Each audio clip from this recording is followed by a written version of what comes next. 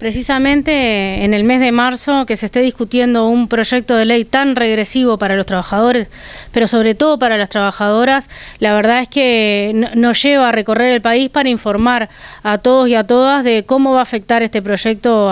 sobre todo a las mujeres, ¿no? Desde el equipo de representación de los trabajadores, este, afirmamos que las mujeres vamos a ser las más perjudicadas con este, con este proyecto de ley. Eh, tuvimos ayer una en todo el país este, marchas y movilizaciones de las mujeres reclamando igualdad de derechos, reclamando el no a la violencia, o sea, reclamando, haciendo un montón de reivindicaciones para disminuir un poco la brecha de género que hay en este país y sin embargo este proyecto lo que va a hacer es ahondar esa brecha que tenemos a nivel de género, pero también a nivel salarial y a nivel de las jubilaciones y pensiones. Nos obligan a trabajar cinco años más y en realidad en el caso de las mujeres yo siempre digo que es esperar más tiempo para poder jubilarnos, porque en realidad lo que no tiene en cuenta este proyecto son la cantidad de años que las mujeres eh, dedicamos al trabajo no remunerado, que son los quehaceres de la casa, la planificación, las compras. Este, dedicamos al trabajo informal porque es muy difícil compatibilizar los cuidados con un trabajo formal de 10 o de 8 horas. Y bueno, y el tiempo que dedicamos de nuestras vidas a los cuidados, a cuidar a nuestros hijos, a nuestros nietos, a nuestros hermanos, a nuestros padres, a nuestros abuelos o a las personas que haya con, discapacidad en, la familia. Nada de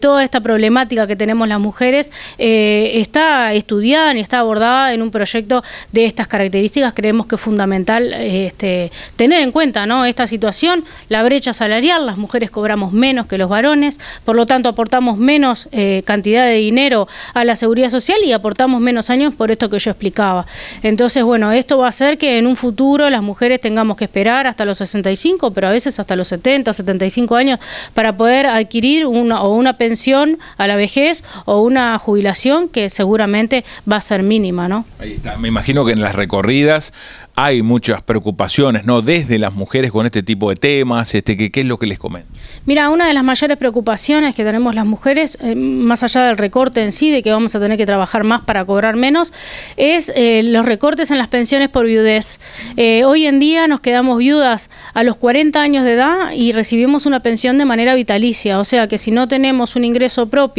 o tenemos un ingreso pequeño, recibimos la pensión por viudez de manera vitalicia si nuestro compañero o compañera este, trabajaba en el momento de, de se cobra la pensión. Y sin embargo, este proyecto lo que plantea es que si te quedas viuda con 40 años de edad te van a dar la pensión por un año nada más. Y bueno, todos sabemos que superar el duelo de una persona cercana, eh, levantar de un golpe tan duro que te dé la vida, te puede llevar de 3 a 5 años, resolver la economía familiar en un año, si estás pagando un alquiler con dos ingresos en la casa, quedarte en un año con un solo ingreso y con suerte es tremendo. Otra de las cosas principales que, preocupa es el tema del recorte en las jubilaciones por incapacidad total, las famosas jubilaciones por enfermedad, que en realidad van a bajar hasta un 20% menos y bueno, y eso también repercute en la persona que pide la jubilación por incapacidad total, pero también la persona que lo cuida, que si el dinero no da, este, tiene que salir al mercado de trabajo, en general se sale a un mercado de trabajo informal para poder compatibilizar los cuidados y, el trabajo. Este, entonces, bueno, es, es todo como un círculo, ¿no? Un proyecto de ley que no tiene una nueva fuente de financiamiento al sistema, que no aborda los cuidados, el Sistema Nacional de Cuidados. Eh, dicen que porque vivimos más tenemos que trabajar más, pero ¿quién vive más? No tiene la misma expectativa de vida una persona que vive en Artigas a una que vive en Montevideo, una persona que salió a los 40 años este, a trabajar porque no le quedaba otra. O sea, hay, hay un montón de situaciones que hay que visibilizar a la hora de aumentar la edad y de tener en cuenta diferentes factores y eso solamente se puede hacer a través de un diálogo social.